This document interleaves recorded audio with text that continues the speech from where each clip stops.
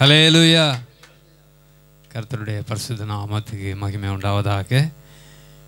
இந்த வார்த்தையை பேச வேண்டிய நபர் இன்றைக்கு ஆப்சண்ட் ஆகிவிட்டதுனால அந்த லீவ் பிளேஸில் நான் நின்றுட்டு இருக்கிறேன் ஹலேலுயா யோவான் எழுதின சுவிசேஷத்தில் பத்தொன்பதாவது அதிகாரம் முப்பதாவது வசனத்திலே நாம் பார்க்கும் பொழுது இயேசு காடியை வாங்கின பின்பு முடிந்தது என்று சொல்லி தலையை சாய்த்து ஆவியை ஒப்பு கொடுத்தார் என்று எழுதப்பட்டிருக்கிறது. நம்முடைய ஆண்டவராகிய இயேசு கிறிஸ்து இந்த உலகத்திற்கு வந்த நோக்கமே அவர் தன்னுடைய ஜீவனை ஒப்பு கொடுக்கிறதற்காகவே வந்தார். இந்த உலகத்தில் அவர் பிறந்ததே மறிக்கிறதற்காக பிறந்தார் என்று நாம் கடந்த நாளிலே நாம் சிந்தித்தோம். அவர் ஒரு பிராயச்சித்த பலியாக இந்த உலகத்திலே வந்தார். அதனாலே அதற்காக அவர் செய்ய வேண்டிய அநேக காரியங்கள் அங்கே இருந்தது. அந்த காரியங்கள் எல்லாம் நிறைவேறுகிறதற்காக அவர் பொறுமையோடு அந்த காரியங்களை செய்து கொண்டு வந்தார் என்பதை நாம் அறிந்திருக்கிறோம். இப்பொழுது இந்த வார்த்தை இங்கே சொல்லுகிறது முடிந்தது என்று சொல்லி அவர் அந்த இடத்துல சொல்லு அந்த தலை ஆவியை ஒப்பு கொடுக்கிறதை நாம் பார்க்கிறோம். என்ன முடிந்தது?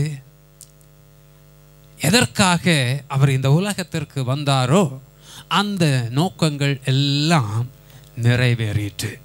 இப்போ நாம் ஒரு ப்ராஜெக்ட் நம்ம செய்கிறோம். நம்ம ப்ராஜெக்ட் எல்லாம் செஞ்சு முடித்த பிறகு நம்ம வந்து இந்த நாளில் நம்ம வந்து ஓப்பனிங் செரமனி என்று நாம் தீர்மானிக்க மாட்டோம். அது முடிய போகும்போதே சொல்லிடுவாங்க இந்த டைமில் முடிஞ்சிடும் இந்த நாளில் நம்ம வந்து ஓப்பனிங் செரமனி அல்லது நம்ம அதை வந்து இனாக்ரேட் பண்ணிடலாம் அப்படின்னு சொல்லுவாங்க இல்லையா? அதே போல தான் இங்கே ஆண்டவர் இங்கே சொல்கிறாரு முடிந்தது. முடிந்தது என்றால் அவர் இந்த உலகத்திற்கு வந்ததன் நோக்கம்.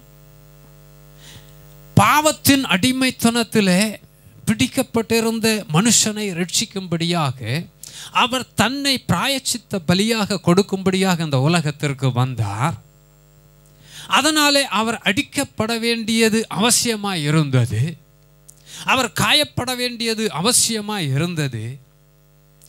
தன்னுடைய மரணத்தினாலே அவர் சத்ருவாகிய சாத்தானுடைய தலையை நசுக்க வேண்டிய ஒரு கட்டாயம் அங்கே ஏற்பட்டு இருந்தபடியினாலே பிதாவினுடைய சித்தம் அதுவாக இருந்தபடியினாலே அவர் தனக்கென்று ஒரு சரீரத்தை வாங்கி இந்த உலகத்திலே வந்து அவர் நம்மை போல ஒரு மனுஷனாக இந்த உலகத்திலே அவதரித்து அவர் நமக்கு முன் மாதிரியாக எல்லாவற்றையும் வாழ்ந்து காண்பித்து அவர் கற்றுக் கொடுக்க வேண்டிய சத்தியங்களை எல்லாம் தம்முடைய சீசர்களுக்கு கற்றுக் கொடுத்து ஒரு முன்மாதிரியை காட்டி தேவனுடைய ராஜ்யத்திற்கான வழி இது என்பதை அவர் காண்பித்து கொடுத்து ஒரு மனுஷன் எப்படியாக ஜீவிக்க வேண்டும் என்னென்ன காரியங்களை செய்ய வேண்டும் எப்படி அவன் ஜெபிக்க வேண்டும் எப்பொழுது எப்படி அவன் அந்த பரலோக ராஜ்யத்திற்கு நேராக அவன் பிரயாணப்பட வேண்டும் என்கிற ஒவ்வொரு காரியத்தையும் இந்த உலகத்திலே அவர் வந்து அவர் கற்றுக் கொடுத்து அவர் தமக்கு தம்முடைய அந்த அவர் அந்த கா பின்வரும் சந்ததிக்கு அந்த சத்தியத்தை அறிவிக்கும்படியாக அவர் தமக்கென்று சீசர்களை ஏற்படுத்திவிட்டு அவர்களுக்கு ஒரு வேலையை அங்கே ஒரு கடமையை கொடுத்துவிட்டு நீங்கள் போய் உலகமெங்கும் சகல சிருஷ்டிக்கும் இந்த சுவிசேஷத்தை நீங்கள் பிரசங்கிக்க வேண்டும் என்று அவர்களுக்கு எல்லாவற்றையும் சொல்லி கொடுத்து சகல சத்தியத்தையும் அவர்களுக்கு விளக்கி கொடுத்துவிட்டு பரலோக ராஜ்யத்திற்கு ஒருவனை தகுதிப்படுத்துகிறதற்கு அவர் தம்முடைய ஊழியக்காரர்களையும் ஆயத்தப்படுத்திவிட்டு இப்பொழுது சொல்லுகிறார் முடிந்தது. நான் வந்தேன்.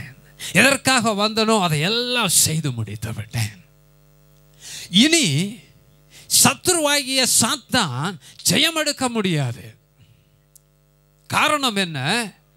இந்த உலகத்தில் அவனை எதிர்த்து போராடுகிறதற்கு நான் சரியாக என்னுடைய பிள்ளைகளை தயார்படுத்தி விட்டேன். அலே லூயா அலே லூயா அவர் தம்முடைய சீசர்களை தகுதிப்படுத்தி அவர்களுக்கு கற்றுக் கொடுத்து அவர்களை தகுதிப்படுத்தி பின்வரும் சந்ததிக்கு அதை அறிவியாமல் இருந்தால் நானும் நீங்களும் சத்தியத்தை அறிந்திருக்க முடியாது.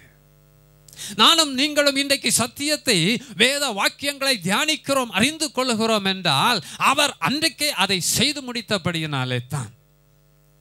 அதனால தான் அவர் தைரியமாக சொல்கிறாரு முடிந்தது. இப்பொழுது நான் சிலுவையிலே மறித்து நான் உயிர்த்தெழ போகிறேன். பின்வரும் சந்ததிக்கு இந்த சுவிசேஷத்தை அறிவிக்கிறதற்கும் நான் ஆட்களை ஏற்படுத்தி விட்டேன் சத்துருவாகிய சாத்தான் இனி என் ஜனத்தை வஞ்சிக்க முடியாது. காரணம் என்ன? இதோடு முடிந்து போகவில்லை.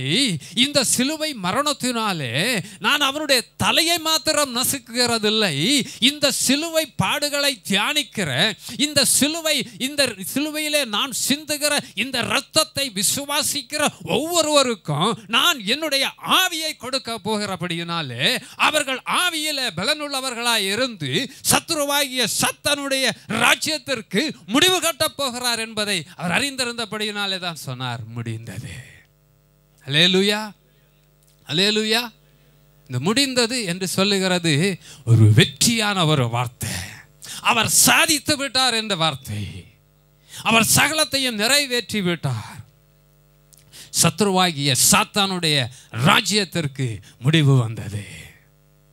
ஆதியாகமம் மூன்றாம் அதிகாரம் பதினைந்தாவது வசனத்தில் நாம் பார்க்கும் பொழுது வாசிங்கள் ஆதியாகமும் மூன்றாம் அதிகாரம் பதினைந்தாவது வசனம். உனக்கும் ஸ்திரீக்கும் உன் வித்துக்கும் அவள் வித்துக்கும் பகை உண்டாக்குவேன். அவர் உன் தலையை நசுக்குவார். நீ அவர் குதிங்காலை நசுக்குவாய். இந்த வாக்கியம் அங்கே நிறைவேறி முடிந்தது. ஸ்திரீயின் வித்து சர்ப்பத்தின் தலையை நசுக்கும் என்ற அந்த தீர்க்க தரிசனம் இங்கே நிறைவேறுகிறது சிலுவையிலே. அதனால தான் அவர் தைரியமா சொன்னாரு முடிந்தது நசுக்கி விட்டேன் அவன் தலையை. ஹலே லூயா ஹலே லூயா என்னுடைய பிள்ளைகளுக்கு நான் ஜெயத்தை சுதந்திரித்து கொடுத்து விட்டேன். என்னுடைய பிள்ளைகள் இழந்து போன ஆளுகையும் அதிகாரத்தையும் நான் அவர்களுக்கு திரும்பவும் பெற்றுக் கொடுத்து விட்டேன். நான் வந்த நோக்கம் முடிந்தது. அலேலுயா அலேலுயா அதனால் ஒரு பூரிப்போடு ஒரு சந்தோஷத்தோட அவர் அந்த இடத்துல சொல்கிறார் ஒரு மன நிறைவோடு சொல்கிறாரு முடிந்தது. நான் செய்து முடித்து விட்டேன். நான் வந்த நோக்கம் நிறைவேறிட்டு என்று அவர் தன்னுடைய ஆவியை அங்கே ஒப்பு கொடுக்கிறதை நாம் பார்க்க முடிகிறது.